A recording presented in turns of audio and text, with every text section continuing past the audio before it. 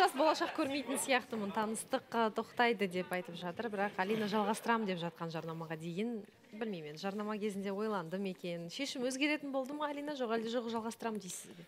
Бірінші олжастың нақтысын сұрап алайықшы иә олжас не, не болды сонда?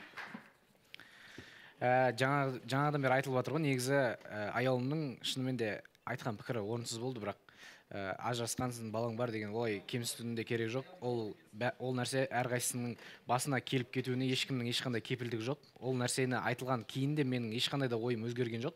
Яғни сен өзіңнің бірақ кемсіткен жоқ қой аяулым неге сөздерін бұрмалап Жоқ, жалпы негізі да. Сен алина төмен деңгейде тұрсың деп айтқан жоқ. Иә иә. Жай ғана ә, айырмашылықтарыңды айтып тұр. Сен үйленбегенсің сіз тұрмыста болғансыз деп айтты. Солай емес пе? Кемсіту Иә, болған жоқ факторларды тізбектеп сізді кемсіткен жоқ алина сол факторлардан иә? ешқандай ойым өзгерген жоқ деп яғни сен үшін жалпы лама алсақ мысалы қыздың ажырасқаны немесе балалы болуы бір қызды ұнатуға ә, кедергі болмайды. Кедергі болмайды иә. Ешқалай. Сен сондайсың. Аха. Ә, бірақ таныстық тоқтайды. Таныстық тоқтайды. Неге? Тоқтайды? Енді айтып отыр ғой жарайды енді. алина разысыз ба бұл жауапқа? Негізі менің шынымен ашумен айтқам аялым сөздеріне кешіріңіз. Ә, негізі мен де тоқтатқан келгем мхм. Өйткені мен сонша әрекет қылдым бірақ болмады көрдім танысуға. Бірақ менің ақырғы соңғы сөзім болсын ә, е, соған мен мұқтажмын. Егер мүмкіндік болса мен сол жерден өзім жұмыс күтемін осы жерден жұмыңызды күткіңіз келеді. Яғни сіз мүмкіндік болса қатысушы болып қалсам деген ниетті Иә. айтып отырсыз. Менің ойымша өте дұрыс ниет. Неге қатысушы болмасқа? Ә, бізде бүгін жұма ғой иә? Иә бүгін кастинг О, бүгін кастинг күні. Міндетті түрде сағат төртте жа- жаңағы эфирді бітіріп сағат төрт жарымда кастинг басталады. Кішкене онда күте тұрыңыз эфирдің соңын.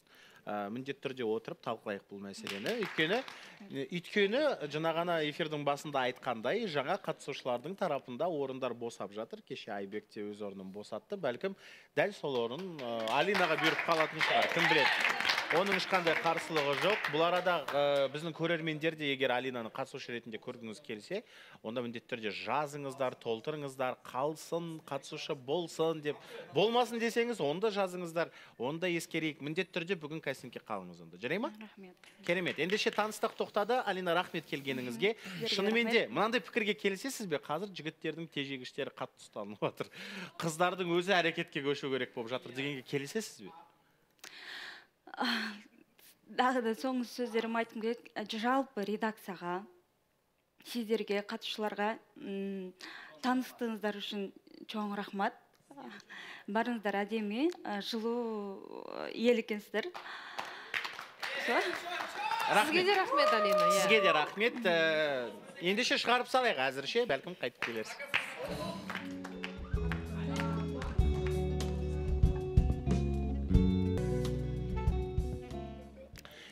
Иә иә жаңағы тақырыптың жалғасы болады ау деп ойлап отырмын. Міндетті түрде болады. Бұл жерде енді жоқ жоқ жоқ. Маған аялым ұнамайды маған олжас ұнамайды дегенімен флирт бар жерде оның жалғасы да логикалық жалғасы да болуы бірақ енді аяулым айтты ғой жігіт тежегіште екен аяғы. Жігіттің қолынан түк келмейді екен деді ғой. Олжас ала ма екен жалпы ол тежегіштен аяғын? Алмайды ау. Білмеймін меніңше аяулым білегін сыбанып кәдімгідей кірісу керек ау. Көреміз енді Көреміз ниеті болса ниеті болса. Бірақ жаңағы әңгіме жаңылханның шекесіне неге тас болып тигенін түсінбедім. Қазір соны пікір таласатын уақыт келді. Бір жанның э, ойына қалай әсер етті екен екеуін ортаға шақырайық. Келіңіздер.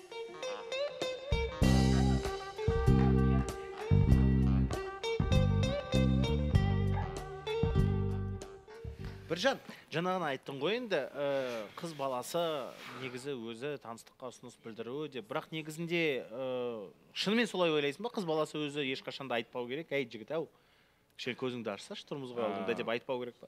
Бірақ негізі э, екі жақтың да тарапы бар. Негізі былай қарасаң негізі қазіргі ер азаматтар кішкене бір ә, қалай айтсам болады бір бата алмай жүреді ә, иә иә бір батылдығы жетпей ма? Әлде өздері андай еркектік нәрсені өзі жауапкершілікті алғысы келмей ма бірінші қыздар келіп алып кете ма? Сондай да сол жағы да бар қазір қазіргі таңда мысалға. Ә, бірақ мына жағы да бар мына жағы да бар. Бірақ енді екеуі де бірге жүреді деп ойлаймын кейде. Бірақ ә, жаңағы нәрсе мүлдем маған ұнамады негізі жаңағы ұнамады. ә, пікірталастар. Яғни аяулым сияқты жасамау керек ол. Басқаша мүмкін басқаша жолдармен мысалға жасаса мысалы қарашы жаңағы мысалда жаңылханды көп атап кетті де. Бірақ енді жаңылхан шынымен де өзі де айтып отыр ғой мен не- негізі ә, жаңылханның бойынан сыйлайтын да дү- дүние қасиетім ә, қасиеті осы. Мен мысалы жаңылханды сол үшін де сыйлаймын қалай бар өзінің ойы? Солай айтады. Ол ойы біреуге ұнай ма? Ұнамай ма? Мен осындай қызбын мен осылай ойлаймын менің табиғатым осындай егер келіссең онда ә, дос та бола аламыз сырлас та бола аламыз жұп та бола аламыз таныса да аламыз. Егер ұнамаса мен саған бірдемені мәжбүрлеп жатқан жоқпын. Ары ойна ара жүр. Дос болмайық таныспайық сырласпайық жұп та болмайық деген сияқты өзінің нақты бір позициясы бар. Және жаңылхан сен өзің мысалы ә, осы ақтақ қараны қара дейтін қатысушы ретінде өзің айтшы мысалы ә, қыз баласы өзі мысалы бір әй осы бір болашағымыз болады ау деген жігітке кәдімгі ә, флирт дегендей дүниені көрсетсе ол ұят па? Қыздар қауымына жауап бермей ақ қояйын өзіме келсем. Сен өзіңді айт. Өзіме келсем ұят. Өзіңе Иә. ұят. Иә. ұят. Қыз өзі ешқашан бірінші болып жігітпен флиртовать етпеу керек. Жоқ. Етпеу керек. Иә. Бірақ онда неге басқаша жасады мен ба? Иә. қайсысын айтып тұрсыз? Жоқ енді мысалы ә, жаңағы ералыдан басқа мысалы нұрланмен таныстық басқасында да мысалы бір сөзбен тиісіп кету әрекетпен тиісіп кету деген ол флирт қой. О, және ол мысалы нұрланның үш ұйықтаса түсіне кірмейтін еді. Содан кейін сен мысалы жасағаннан кейін кішкене көңілін аударып флирт деген енді мысалға міндетті түрде жігіттің артынан қалмай жүгіру немесе қолын ұстау олай емес. Таныстық сөзбен бір кәдімгідей Бізде таныстық болмай жатып, үміт мен таныстық болмай жатып мен нұрланға барып ондай жасаған жоқпын. Үміткер болғаннан кейін үміткер болғаннан кейін арамызда таныстық болғаннан кейін мүмкін болғанша сөзбен тиісу. Бірақ қараптан қарап нұрланның ешқандай да хабары жоқ. Мен өзіме өзім барып оған қырындап или бір намек тастап ондай нәрсе болған жоқ. Нақты айта аламын. Тип кішкене жоқ олай болған жоқ. Шақты шақым айтамын нақты олай айта аламын олай болған жоқ. Иә таныстық болғаннан кейін бір ә, ішімдегі нәрсені айтқаннан кейін мүмкін болған шығар сөзбен тиісу. Басында біз андай не болды ғой? таныстығымыз ондай қатты күшті болған да жоқ шыны керек болған кезде. Таныстық қалай басталды? Мен үміткер болып келдім ғой. Шахмырза сонда түсінбедім сізді. Енді сол ғой мысалы сен үміткер болып келдің сөйтіп таныстық басталды мен ә, мысалға мысалмен алдырып мен сізді түсінбей тұрмын. Былай оны сізден сұрап көрейінші нақтылай. Мысалмен сұрап көрейін иә онда? Ә, аяулымнікіндей әрекет жасамаппын мен. Нұрланға Иә. барып комментарий бірақ жазып. мен аяулым сияқты жасадым ба мысал деп ке- тұрған мен мысал келтіріп деп жатыр отырмын. мен мысал келтіріп жатырмын мен содан басталады ғой флирттің бәрі. Соны айтатын да мысал ретінде мен айтар едім олай мен шынымды айтсам мен когда қат, просто біз тек қана қатысушылар ретінде қана бірге тамақтанатын кезде мен просто нұрланнан кезінде бір ә, жақсы ғой ол мына мына жақта пікірі жақсы болмағанмен өмірде жақсы екенін сыйлағандықтан мен үміткер болып келген шығармын. Бірақ мен өлем сүйем деп келген жоқпын ғой мен нұрланға. Аяулым да өлім сүйемін деген. О да бірақ қырымдау болып тұр ғой. Мен нұрланға Иә, қырымдау түсінбей тұрсыз ғой шах. бар ғой. Аяулым комментарий жазып тұр. Ә, өзіне кәдімгідей назар аударып тұр. Ал жаңылхан оны ресми түрде үміткер болып келіп істеп тұр. Түсінесіз бе? Мынандай болуы мүмкін. Мен флирт жасаймын бірақ мойындамаймын. Иә солай ғой жігіт ұнады мен үміткер болып келемін болды? А яғни айырмашылық осында болып тұр. Тікелей жаңағы бірден жағасынан аламын дейді ғой жоқ енді жағасынан түсінікті, емес. Онда үмітке ә, шымылдық не үшін онда? Ау? шымылдық не үшін онда? Жан дүниені тану үшін. Мхм. Иә. ұнатқан адамға келу үшін иә? Иә. Сол үшін ғой? Мен оған наразы емеспін ғой сен ғой наразы болып отырсың. Мен бірақ үміткер болып келіп отырсыз жоқ сіз енді сол акцентті үміткерлікке қойып жатсыз ғой сол себепті айтып жатырмын. Жаңылханның наразы болған несі жаңағы не деді? Қыздық құндылығынан деді ма? қалай айтты? Сол сөз тиіп кетті қыздық маған құндылығынан айырылып деген сөз кәдімгідей жанына батып кетті. Бірақ сол сөзді өзі растап отыр ғой. Мен мысалы қалай ойлаймын? Егер мысалы маған бір адам ұнаса мен қыз болайын ұл болайын кім болсам ол болайын. Тура келіп мысалы сен маған ұнайсың. Ары қарай бұл ақпаратпен не істейсің өзің біл. Болды. Сөйтіп ашық айта салатын едім. Қыз болсам да. Мен ойлаймын және мен үшін мысалы өйтіп айтқан қыздың да ешқандай бір абыройы намысы бірде бір қатты түседі деп ойламаймын. сізбен келісіп тұр ғой жаңылхан келісіп тұр жаңылхан ғой. айтады да бірінші қадам бастаған қыз ол ұят болмайды олай деп. мәселе ұят өзіне өзі қарсы шығып тұр Негізі, деген ол басқа нәрсе. Мысалға мен өмірде мүмкін мен осы бағдарламада болмай бағдарламада қатысушы вообще бұл бағдарлама жоқ болса Иә. мүмкін басқа жігітті мен өмірде ұнатып қалсам мен ойлаймын мүмкін ішімде өмір бақи кететін шығар мен тек мына бағдарламаның арқасында мүмкін ішімдегі нәрсені айтқан шығармын ішімдегі а, бірінші қадамды жасаған шығармын. Тек қана осы бағдарламада. А егер өмірде болса мен ешқашан да ұнатып өліп сүйіп даже ұнатып демей ақ қойыңызшы өліп сүйіп бара жатсам да мен бірінші барып қырындамас едім жігітке. Негізі шах мырза онда абылай дұрыс айтты ғой деймін. Иә шах мырза қараңызшы қырындауды сендерді көрсетіп қойғаннан кейін ол ар намысқа жатпайды дейсіңдер. Ол уже сендер қатты флиртті көрсетіп қойғаннан кейін ол ар намысқа қыздың намысына тимейді емес пе? Тиеді ғой. Адамбер камила ханым манадан бері не түсіндіріп жатырмын. Иә сол. Жоқ негізі сендер сіз сен жанхан бүйтесің да қара айтасың да бүйтіп нені жаңа флиртті мен беремін бірақ мен ар намысыма тапталған жоқ бәрі нормально дейсің. мен қырындамаймын деп айтып тұрмын ғой. сен жоқ көрсеттің жаңылхан ба бүйтіп айтып тұр неге түсінбей жатсыздар мысалға жаңылхан айтады егер мен жүрем жүрем ә, күндердің бір күнде маған марғұлан ұнаса мен оған барып қырындамаймын дейді. Вот, вот көрсетпеймін оны. Бірақ осындай бір болайық жобасы болып тұрған кезде мен үміткер болып келе алам деп тұр. Иә сол ғой айтып бірақ өмірде жүріп қырындамаймын мен өйтіп намек тастамаймын деп жатыр. Ондай жаңылханның несінде тарихын былай ойланып қарасақ ондай болған жоқ расымен де бір рет үміткер болып келді ресми түрде кәдімгідей. Оны ұялмай айтуға болады. Ал былай мысалға бір ұнаған жігітке барып қырындап мен ондайын байқаған жоқпын. Мейлі үндемей ақ қояйын жарайды. Иә таныстықтары не болып жатыр біржанның да әбден ә, біржан шаршады бар ғой ортаға шыққан сайын. Сол баяғы есімдер неге атала береді деп ә, видеоларын көріп алайық иә? Содан кейін сіздердің таныстықтарыңызға көшейікші. Иә. Назар аударайық.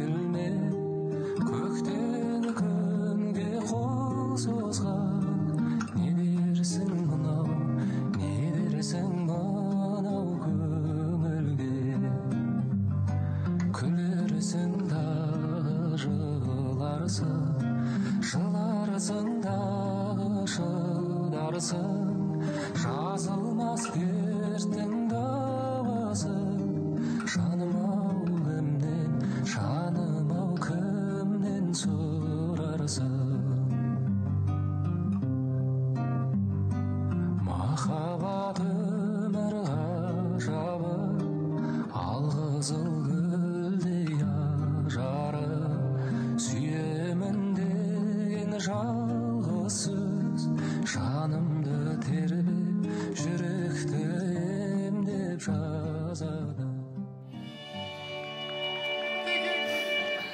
Сондай сезім мен романтикаға толы үлкен бір ауқымды кездесу болыпты Ә, қатып қалдың ғой біржан.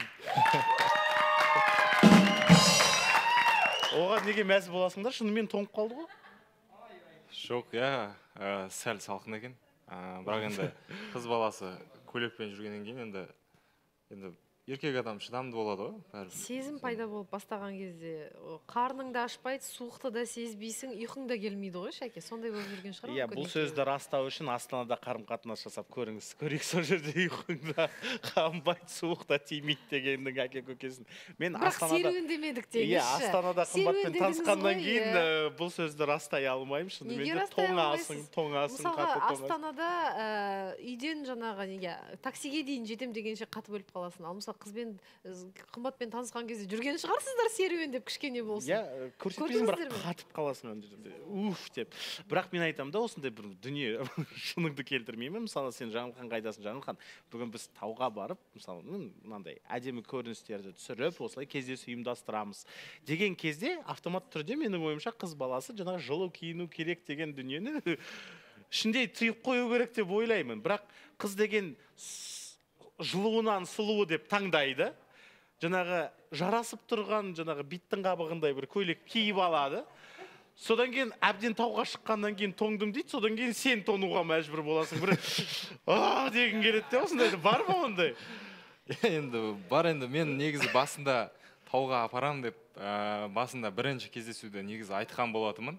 Ә, тауға ба- барайықшы мен негізі өзім барғым келіп жүр бірақ менің өзімнің уақытым болмай жүр деп. Ә, бірақ сол күні кеш батып кеткеннен кейін тауға бара алмай қалдық. Ә, енді екінші тағы да кездесуде тауға барып шығайық дедік бірақ аяқ асты шығып кеттік та. А, Ә, бұл қыз да білмей қалды қалай шығып кеткенін тауға. Жаңылханнан кінә жоқ дейді иә? Ақнұр ұнап тұр ма бұл таныстық саған? Жаңыл- құрбысың ғой енді. әрине ұнап тұр. Мен жаңылхан үшін өте қатты қуаныштымын. Мен өзіне де айтқан болатынмын. Енді кешеден бері байқағаным жаңылханның көзіне енді құрбым ғой менің енді.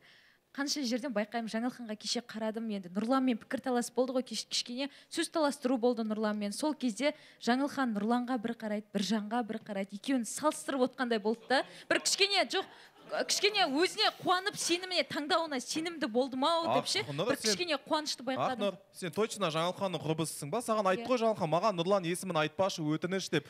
Ты не подвыка жаңылханнан Жоқ, абайлашы мына жерде- ақнұр деген қыз өте жоқ нұрланнан құтылғаныма шүкір деген сияқты бір жаңылхан құрбысы бола тұра айтқан сөзін елемей нұрлан деп айтып жатсың да сен құрбы емессің ақнұр сен апасының жоқ мен ә, құрбы Ал. мен айта кетейінші мен құрбыны сөзіне қарай айтқан іс әрекетіне қарай таңдамаймын. Ақнұр менде өмірбақи ә, құрбыма құрбы болып қалады. Иә негізі ақнұрдың қозғаған әңгімесі енді ә, қалай бар солай айтып жатыр ғой. Но мен айтайыншы бұл бір нұрланды түсіріп бір біржанды көтеру мақсатында емес. Жай айтайын иә нұрланмен а, ақнұр пікір таласқан кезде мен жанынан мына жерде жақын отырдым да нұрланға қарап отырғаным рас. Бірақ андай болды да менде бір ішім бір бірдеңені түсінгендей болды да мен кезінде бәрі бекер ғой деген сияқты да босқа деген сияқты да. Бірақ мен осындай қасымда бір жандай жігіт отырған кезде мен түсінген болатынмын. Иә міне нағыз ер азамат міне осындай деген сияқты. Но бірақ мен нұрланды түсіріп жатқан жоқпын. Бірақ ә, салыстыру болып кетті. Ішімнен бір ә, салыстыру болып кетті. Қалай дедің ә, ақнұрмен салғаласып ұрысып жатқан нұрланды көрген кезде мен осы үшін күрестім бе кезінде? деп қасындағы бір жанға қарап міне осындай болу керек деп ойладың ба солай иә ішімнен солай ойлаған болатынмын.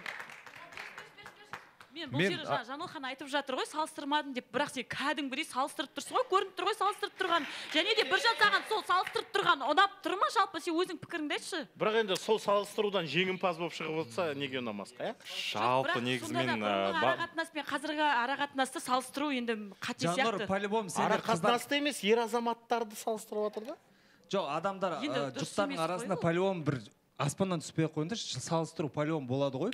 Бұрынғы ара қатынас пен қазіргі ара бұл салыстыру нәтижесінде сен жеңімпаз болып шықтың. Шахкерім жалпы негізі ә, былайынан ба- бастапқыда негізі иә кешірім өтінемін жаңағы просто Болады, болады, мен қазір басым загруженный болып тұр да жұмыс жақта да мына жақта да соны қазір кішкене ойым кетіп жатыр. Ә, шах мырза мен басында кездесуде кезде айтқанмын да негізі маған басқа ер азаматты мүлде айтқан ұнамайды жалпы. Жоқ ол айтып тұрған жоқ қой. Бірақ мысалы бір мінездемелер бойынша қарашы мысалы кезінде енді қалай айтсам болады әннің ішінен сөздерді алып тастай алмайсың ғой. Ол бар ол болды.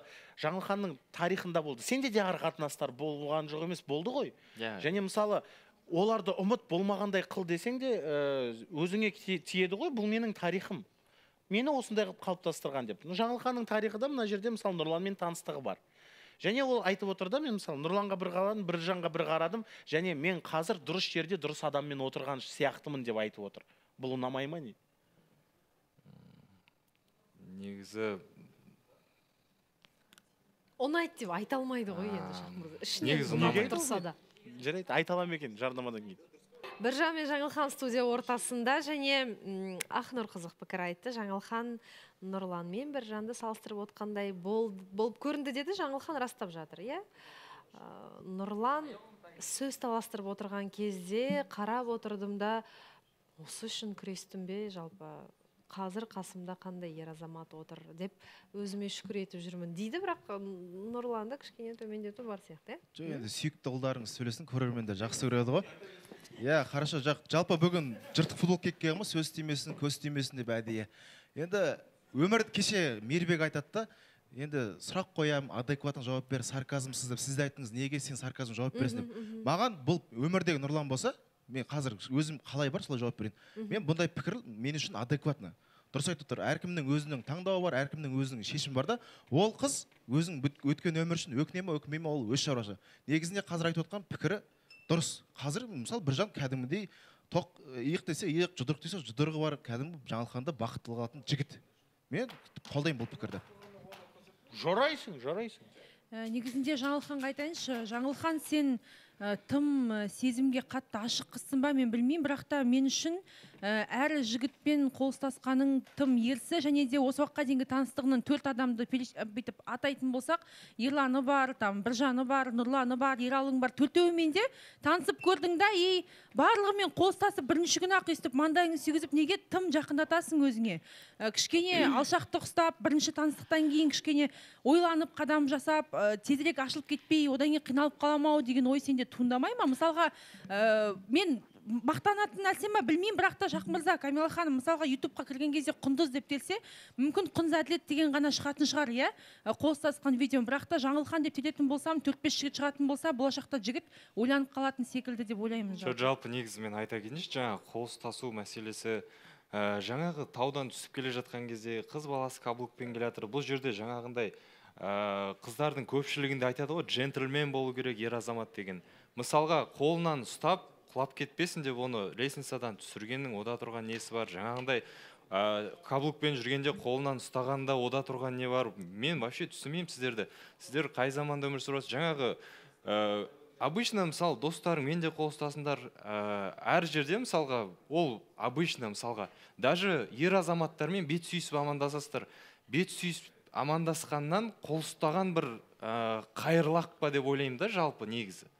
Негізі, ә, дұрыс айтып жатсыңдар ғой бұл жерде. Иә, бүкіл жігіттің атын атап иә? Ол мен всегда менің пікірім бар осы жерде алтыншы маусымда ә, осы жерде болған нәрсе ма ол талқыланады. Сен менің аузымды жаппа деген менің сөзім болатын. Иә мен осыны мойындаймын. Сіздер ә, жаңылхан болсын мен пікір айтсам да мен жаңылхан болып бір жігітпен танысып мен үйленіп кетіп бара жатсам да мүмкін айтатын шығарсыңдар осы пікірді иә дұрыс мен оны ә, жақсы түрінен қабылдаймын. Бірақ мен сіздерге өтініп сұраймын. Мен ойлаймын да мен осы маусымға екінші рет алтыншы маусымға екінші рет қайтып келуімнің қайырлысы осы болған шығар. Мен ойлаймын да ә, мүмкін мен келуімнің себебі бір ә, бір себеп қалай айтсам болады бір дұрысы осы болды шығар. Мен басында ойлаған болатынмын сіздер ескі тарапта мені бір жақтырмау сияқты болған сезілген кезде мен ютуб сұхбасына барып ә, типа ә, бір ренішімді айтқан болатынмын мен босқа келген сияқтымын деп. Мен қазір нақты айта аламын осы алтыншы маусым. Жаңа тарап болмай ақ қойсын ескі тарапта отырсам да нақты дұрыс шешіммен келген деп ойлаймын. Себебі міне егер мен бұл жаққа келіп қайтадан қатысушы болмағанда мен біржандай адаммен таныспас едім. Жаңа негізі өзің де мойындап жатсың ғой жаңылхан қол ұстасу дұрыс емес болған шығар өзінің тарапынан деген сияқты. Бірақ құндыз да дұрыс айтып жатыр ғой ә, жалпы төрт жігіт те сол қол ұстасып неттің ғой мен оған қарсылығым жоқ. Бірақ қарашы бұның бәрі бір көз бояушылыққа көрініп тұрған сияқты менің ойымша. Көз бояушылық сен біржанмен де қазір кездесіп жатсың көз бояушылық жаңағы махаббатты типа көрсетіп жатсың да соңында айырылысып кетесің. Неге мен бұндай күдікке келіп жатырмын. Өйткені сен ералымен де ә, жаңағы үлкен бір зданияның төбесіне шығып кішкене бір три метр нарудың не болдыңдар бірдеңе болдыңдар содан ана жақта тағы да біреумен маңдайынан сүйіп қазақиша бірдеңе түсірді. Оның бәрі бір махаббатты көрсетеді. Мен оның қарсылығым жоқ. Бірақ ол не түбінде нәтижеге алып келеді? Мен айтамын да енді әрбір нәрседен сабақ алу үшін отырық қой бұл жерде. Мен барымша ә, бір жағынан сыртта мен қолымнан ұстамашы ә, қолымды былай қоймашы деп сияқты ә, айтамын негізінде. Айтамын. Себебі маған ма? ол ол маған ол кәдімгідей үлкен сынақ болды. Білемін осындай сөздерім бар. Жалғыз бұл сіздердің сөздеріңіз емес бұл көрерменнің халықтың сөздері де бар. Жаңылхан сен сондай сондайсың. Мен қабылдаймын ол ақиқат солай болды. Иә өкінемін олай жасағаныма. Бірақ мен ә, просто жай ғана бұл майбелгоровтың жұмысы иә майбелгоровтың жұмысында әдемі видеоны көрсету мақсатында. Екеуміз екі жақта жүрсек бұндай әдемі видео шықпас еді да. Ал мен өмірде қазір қазір біздер студия ішінде біржанмен осы жерде танысып жатырмық қой біз қол ұстасып осы жерде жүргеніміз или бір жабысқанымыз болды ма? Болған жоқ та. Бірақ біз видеода көрсеткеніміз рас.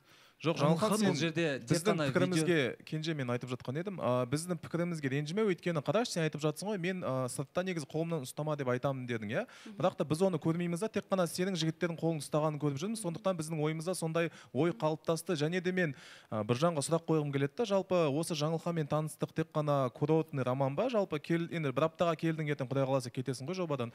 Ә, сол кезде енді қай үміткер болып келіп жүресің ба? Немесе осымен жаңылхан біржан деген хикая біте ма деген менде сұрақ. Қайдан табасыңдар иә сондай курортный жалпы негізі не деген теңеу? бұл сұрақтың өзі өте орынсыз сұрақ деп ойлаймын. Өйткені жалпы ер азамат қадам жасаған кезде жауапкершілікті алады ғой бірінші. Мысалға мен бұл қадамым дұрыс па? Мен жауапкершілікті ала аламын ба? деп адам саралап барып ойланып барып істейді ғой. Егер оны егер мен олай бір апта жүріп просто тоқтат деп кетіп қалсам мен оны істемейтін едім. Мен өйткені ә, білем да мен ол жауапкершілік халықтың алдында болып жатыр. Қыздың намысы бар бұл жерде. Мен ә, бұлай бұндай дүниеде жасамас едім негізі жалпы. Рахмет. біржан мен сіздікі негізі курортный сұрағыма жауап алған едім. Артын мен сөзімді жалғастырып аяқтай салайыншы өтініш. біржан мен қоямыз сенің өзімнің сұрағыма жауап алдым. Күшті жауап болды негізінде. Бірақ та мен жаңылханға тағы бір пікірім, пікірімді айта салайыншы. Жаңылхан қарашы сен айтып жатсың ғой. Мен біржанды таңдадым. Ты говоришь так будто как будто саған біржан ә, уже қызым бол немесе ә, әйелім бол деген ұсыныс жасағандай мен біржан таңдадым дейсің да бірақ та ешқандай кепілдік жоқ сен мысалы нұрлан қайда біржан қайда біржанға сенемін деген сөз әлі ертелеу деп ойламайсың ба? Өйткені ол саған дым әлі ешкім емес та үш ақ күн танитын адамыңа сен сенемін ойбай мен таңдауым деп айтып мейірбекке это кажется еще не время для этого. қатысушыларға айтайыншы бір жарым ай қалды ғой. Бір жарым айда жақсы Енді уақыт аз екенде мүмкіндік мені провокацияға шақырмай. Мен айта аламын енді таңдау емес енді кім бұл? Үміткер болып отырмыз таңдау болмай ма сонда? Енді таңдау- біз бір бірімізді таңдап отырмық қой ол енді факт қой. Таңдау болашақ бір әйелің таңдайсың бірақ та Бұл саған жерде ешкім ешқандай ұсыныс жасаған сені үміткерлер жоқ тоқтай тұршы үміткерлер келген кезде саған үміткерлер келген кезде сені таңдап келеді ғой иә? сол келмейді ғой ешкім маған. Жоқ таңдап келді ғой кезінде. Сен өзің де үміткер болды, болдың. иә. жоқ сен онда былай айтайыншы сен бірінші маусымда үміткер болып келдің сен де таңдап келдің ғой ол да сенің таңдауың болды. негізі жаңылхан сен шынайы қатысушысың ғой бірақ шынайы сөйлеген дұрыстау деп ойлаймын. Өйткені сен айттың ғой мобилографтың айтуы бойынша қолынан ұстадым деп. Бірақ мына жақтан сен ортаға шыққан кезде қолыңнан ұстап ар жаққа қаратай апарды бір и және сен мына жерде бірге вальс Жоқ, билеген кезде бірі біріңе аузыңа кіріп кетейін деп тұрып биледіңдер ғой кішігірім. Кішкене сыйластық болып алыста ұстап кішкене бүйтіп вальс билесеңіздер дұрыс дұрыс болатын еді менің жоқ ойымша. абылай негізі өте орынсыз айтып отырсың. Өйткені қыз баласы мына жерде каблукпен жүр шығарып жіберуге болады мысалы вальсті мына жерде кім билемей жатыр? неге өйтіп бәрі билеп жатыр. Неге өйтіп сол ақталасың біржан жоқ мен айтамын да ол. ә, баспалдақ деп ұстадым қолын ұстағым келді өйткені. Болды солай сезініп тұрмын деп неге айта алмайсың жоқ ә, камила ханым бұл жерде андай да бір ә, сырттағы нәрселердің бәрі былай қазіргі әркімнің өзінің өмірін қазбаласа былай біраз нәрсе шығады ғой негізі Иә. жалпы. Ал мына жерде сыртта болып жатқан жаңағы басқалардың әңгімесі қызық емес та сендерге? Ал именно осы бір екі жас бір нормально қосылып нормально билеп жатса қызықсың. нормально Ба- дүние. сен басқа біреуге пікір айтқанда періште екенсің да сен өзіңе келген кезде саған камила ханым айтып жатыр жай ғана айта сал иә мен жақсы көремін не болыпты жақсы көргеннен қолынан ұстадым деп айта сал сен батылдығың жетпей тұр ма жақсы көремін деп айтуға айтасыңдар ғой содан жоқ батылдығым жетеді неге? Сен енді ондай сен қолынан ұстадың ғой по факту. Енді ұстасам не болыпты ода тұрған не жақсы бар? көрсең Иә, енді айтсайшы енді деп тұр ғой саған. Біржан сен қолынан ұстағың келіп ұстады ма жоқ әлде құлап қалмасын деп ұстадың ба? соны айтшы. Ұстағым келді. Ұстағым келді. Дұрыс қой енді махаббатты көрсету керек қой. Осы жерде қатысушылар түсінбеймін да махаббат көрсетпесе көрсетпеңдер ештеңе шықпайды деп айтасыңдар. Барынша барлығын көрсетіп жатыр. Мейірбек бақытсызсың ба? Бақытсыз болып отыра берші осы жерде. Әркімге өз өмірің қызық емес па? Барынша Иә. тиісуге тырысып Жоқ, жатсың бағанадан кенже мен махаббат көрсету жайында- айтайыншы, тұра тұршы мен сөйлеп бітейін. Ұзақ сөйлейсің, одан кейін барып құндызды айтамын да бағанан бері бүкіл жігітке махаббатыңды ашып тастайсың дейсің. Наоборот жүрегі бос екенін осы жерде көрсетіп кәдімгідей Аха, махаббаттың бәрін көрсетіп жатыр. Сен сияқты мына жерде жүрегің бос емес әлі де мен білмеймін деп мына жерде үш төрт рет қайтадан бір жігітті шақырып алғаннан гөрі лучше басқа жігіттермен талпынысты көріп тезірек тұрмысқа шығудың амалын жасап отыр осы жерде. Иә сенен қарағанда кішкене адалдығымды көрсеткен екенмін. Рахмет. Жақсы жағынан өзім адалдығымды көрсеттім. Және жүрегім бос екенін айта кеттім. Мен сенен қарағанда сөзіме жауап бере аламын айналайын иә құндыз молодец. Мен өз ойымды айта мына жерде жаңа абыл айтып жатыр ғой қол ұстасуға тиісіп деген қол ұстасудан да басқа дүниені бітіріп жүргендер қаншама ғой эфирдің сыртында. Ал мына жерде мейірбекке келетін болсам жаңа тиісіп жатсың біржан мен жаңылханға не дедің ә, курортный роман бір аптаға созыла ма деп. Ал кеше түнде сенікі ә, сенікі бір күндік роман болды ма? А, Ахнар, а, ты читать умеешь жоқ мен А, жоқ оқымадым бірақ бұл кісі мейірбек те мысалға эфирдің сыртында басқа қызды құшақтап тұрып андай видео салады екен да А, публикасына а, негізі- бірақ басқа адамдарға тигізеді енді ғана сұрайын деп отқан едім иә кім эфир сыртында не білдіріп отыр деп. Нақты мейірбекті ғана меңзедің ба мейірбекті мен көрдім кеше ұйықтайын деп Басқа жатқан тағы кезде кім? публикация. Бауыржан ба? Мен қайдан білемін сен айтып отырсың ғой. Не білдіріп отырсың эфир сыртында не а білдіріп бауыржан не істепті жоқ түсінбей қалдым ғой мен не қатысым бар деймін да эфир сыртында бірдеңе бүлдіріп дұрыстап кенжебек сен айттың ғой. ойлан. Жоқ тоқтай тұршы кенжебекке қазір айтасың. Не білдіріп жүрсің эфир сыртында? Эфир сыртында ештеңе бүлдіріп жүрген нақты ма? Иә. Эфирға шаршап біздің шарттарға қайшы келетін ештеңе жасап жоқ жүрген ештеңе ақнұр бауыржан емес екен ғой? Неге өйтіп айттың? Мына жерде еділ бауыржан дегенге бауыржан ба деп ойладым кенже мүмкін білмеймін ғой. Жоқ мен бірақ мейірбектің видеосын көрдім. Бірақ комментарияларын оқысам сосын кімді меңзедің көпше түрде айттың ғой. А мейірбекті ғана айттым болды. Нақты ма? Нақты өтірік айтпа нақты камила ханым? Ә, негізінде бәрі мына жерде мейірбекке тиісіп жатыр да мейірбек сөккен жоқ қой. Мейірбек жай ғана сұрақ қой. Дешевый адвокат. Ме- мейірбек жай ғана сұрақ қойды неме мейірбек? Иә сөгіп жатыр ма мейірбек жай ғана сұрақ қойды бірақ ә, дәл қазір тиісетін жөні де бар сияқты. Не видео болды кешегі мейірбек? А? А, енді ақнұрдың логикасын енді америка ашқандай болып отырсың ғой мен бір жасып жүрген видео сияқты. Бірақ та енді мен шынымен ол қызбен бір ара- қатынаста болсам оны а, өзімнің әлеуметтік желіме салмайтын едім иә. Жай ғана статистикамды көтеру мақсатында мен де мысалы болашақта блогер болып ақша тапқым келеді. Болды. Ол қыз блогер ма? А, жоқ ол менің әріптесім. Онда статистиканы видеоға жоқ ол жақта енді қызбен вальс билесең өтеді ғой ол видео. Және де бізді түсірген сол қыздың жігіті ол жақта ешқандай мәселе жоқ. Сонда сенің жаныңда жүрген әріптестерің өз құндылығын білмейтін қыздар ма? А, сен менің әріптестеріме тиіспей ақ қой ақнұр Жоқ, өйткені сен не олар- үшін тиісесің Иә, ұстап бұл да алып. пікір ғой бұл да пікір ғой. Сен айттың мысалы менің қолым ойбай мен мына жерде екінің бірінде қолымды ұстатқызбаймын анау да мынау. Мен сондай жаңағы дұрыс жігітпін Иә. дұрыс адаммын деп. Демек егер жаңағы ә, сенің статистикаң көтерілу үшін мыңдаған көрерменнің алдында сенімен билеп тұрып жаңа құшақтасып тұрып билеп тұрып видео түсіруге өзің қиған қыздың да өзінің ә, құндылығына деген немқұрайлығы бар деген сөз. Дұрыс қой? Негізі- ал оны түсіріп тұрген жігітің де өзінің құндылығына деген ә, немқұрайлығы бар деген сөз. Яғни ол қыз да 5 грамм ойламайды мен бөтен жігітпен билеп тұрмын ғой қазір мыңдаған халық көреді ғой деп.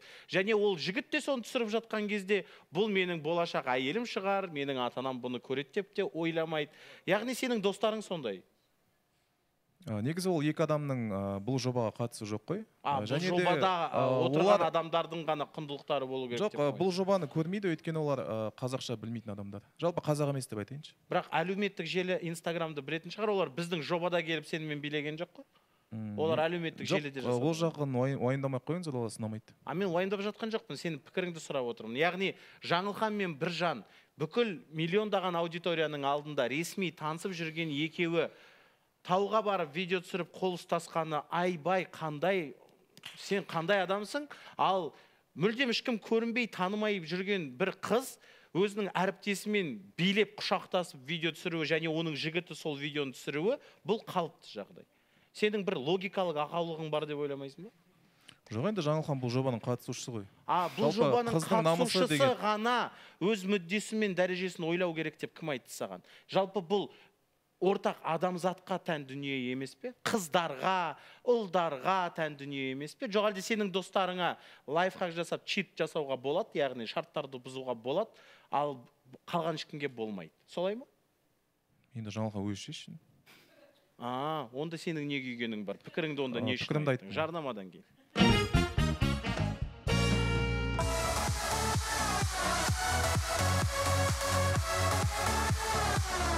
Кезінде мен жаңылхан мен біржан танысуда романтикалық кездесу жасаған видеосын түсірген бірақ бұл біздің қатысушыларға әсіресе мейірбекке ұнамай жатыр. Мен жалпы осындай жалған ұстанымды түсінбеймін де мысалы ұстаным деген дүние принцип. Ол принцип ұстаным. Ол ұстаным деген яғни сен көрген жерде көрген адамыңа айтуың керексің егер ол сенің принципің болсаң. Сенің досың болсын қызың болсын әкең болсын шешең болсын. Кім бар соларға айтасың ей бүйтіп жасауға болмайды. Минимум менің көзімше деп. Тура сондай принциптерді басып аттап өтіп шайнап жұтып менің достарым деп ақталады. Ал мына жерде мен сенің досың болмағаны үшін жаңылхан кінәлі болып отыр ма сонда? Принциптерін ұстап қалғаныңа А, негізі мен жаңылханды кінәлаған жоқпын ғой. Мен ютуб арнасында айттым а, жаңылхан негізі осы күнге дейін мысалы әрбір жігітпен қол ұстасқан видеосын салды және де жаңылхан осы күнге дейін әр жігітпен қол ұстасты да видео түсірді. Содан кейін нәтижелі болған жоқ үйленген жоқ. Иә. ал сенің дос қызың жігіті бар. Танымайтын даже романтикалық талпынысы жоқ бір жігітпен құшақтасып тұрып видео салады сенің статистикаң Ну, көбею үшін. Және оның ол- принципі бар. ол қыздың маған сезімі жоқ және де оны ойын ретінде а қабылдадық демек сезім болмаса мүлдем танымайтын А. адамдармен құшақтасып билей беріңдер. Прикол ретінде болады.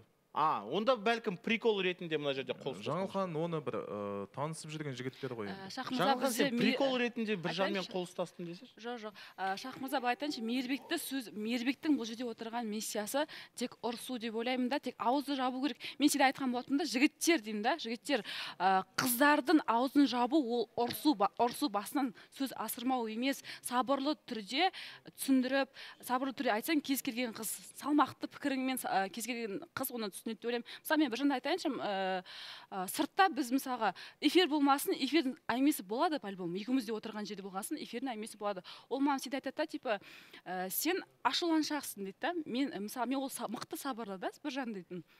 Сен ашуланшақсың дейді. Ей менің ойымды түсіндіріп береді да сен бүйткенде бүйткенде сөйткенде ей мен оны түсінемін а түсінгеннен кейін мен ұрыспаймын ғой біржанмен егер егер менде бұрын мындай болды ғой мен жеке тұлғамын ол менің ойым деп мен до конца тұратын едім да ұрысып Иә, бетіне иә, алып та.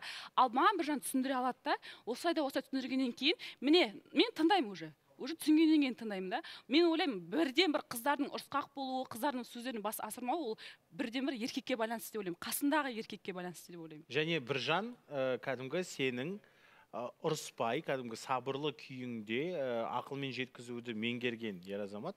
Және бұндай ер азаматтың қасында болғың келеді дұрыс па? Жаңағы айтады ғой негізі қыз қыз баласы бірдеңкені жасар кезде ойланбай жасайды да одан кейін барып ойланады да. А ер азамат ол жасайтын кезде ойланып саралап өйтіп бүйтіп солай ойланады. Ә, жаңылхан да мысалға жаңа ә, кенженің пікіріне айтқанына сразу атылып кетіп жатыр да. Мен айтам сен әлі түпкі түйсігіңе соны саралап одан кейін барып Сіңіріп. ә, сіңіріп одан кейін барып сен айтсаң болады да. Бірақ ол сен жамандаған да жоқ сен жақсы деген де жоқ бірақ сен атылып кеттің сразу. Иә. Сен кішкене сабырлы бол осылай бол деп ә, қыз баласына жаңағындай спокойно қасына көзіне қарап тұрып былай жақсылап бүйтіп түсіндірсең ол түсінеді. Ал егер сен еркек те провокацияға беріліп ол да провокацияға берілсе ол жерде ештеңе шешілмейді деп ойлаймын не деген даналық мына екеуінде сонымен ә, мына сұрақ жалғыз сұрақ орынды болды. Ә, енді сен қонақ ә, жаңағы сарапшы қатысушы ретінде бір апталық қызметіңді атқарып жатсың ғой ертең соңғы күн. Және ол күндер біткеннен кейін ә, ары қарай үміткер болып келіп таныстықты осы жақта жалғастырып мейлінше егер мысалы бір нәтижелі болып бара жатса солардың барлығын көрсетуге қарсы емессің иә жоқ қарсы емеспін. Керемет. Ендеше ә, жаңылхан ұнайды ғой саған қыз ретінде? Тартылыс бар ғой. Иә әрине ұна- ұнағаннан кейін осындай дүниелер шығып жатыр деп ойлаймын. Және біржан ұнай ма деген сұрақты да қоюдың өзі артық деп ойлаймын. Өйткені жаңылхан кәдімгі мына жерде алып қашпа ойбай ұшқын әңгімелерден емес ақылмен осы жолы таңдаған сияқты біржанды. Ақыл мен жүрек бірге таңдау жасап тұр. Күшті ме екен осындай сәт? Иә. Ақыл мен жүрек. иә мен көбінесе жүрекке кетіп қалатын едім ғой бірақ ақыл мен жүрек бірге жүрген кезде жақсы нәтиже шығады деп ойлаймын. Ендеше жақсы нәтижені күтеміз таныстық жалғасады ғой. Иә Иә, жалғасады. ендеше отырыңыздар